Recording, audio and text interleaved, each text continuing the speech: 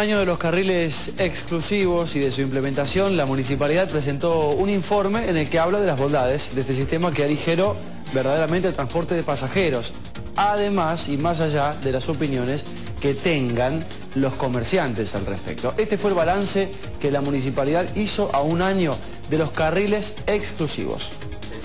La verdad que el balance es muy positivo. Eh, estamos, hemos implementado carriles exclusivos en 10 kilómetros de la ciudad, inclusive la primera etapa ustedes saben que fue eh, pasando por, el, por pleno centro de la ciudad y, muy positivo como balance general, una disminución en los tiempos de viaje de hasta un 36%. Recién eh, estábamos comentando de que si uno suma la, media de la disminución de tiempos de viaje de una persona durante un año y gana 3,3 días y medio de, su tiempo, de su vida.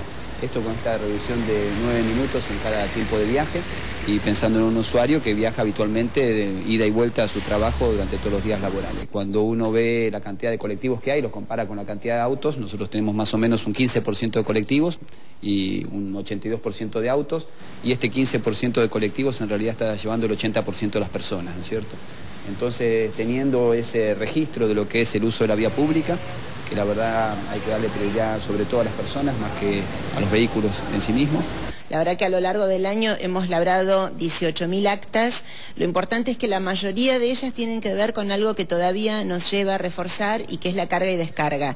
Eh, una de las grandes claves para que no se entorpezca el tránsito es que no haya ni vehículos en doble fila, ni vehículos particulares donde la carga y descarga tiene que hacerse, ni carga y descarga hecha fuera de su lugar. Entonces, eh, este, eh, esta infracción se llevó más de 7.000 casos y sobre ello vamos a seguir trabajando en este año.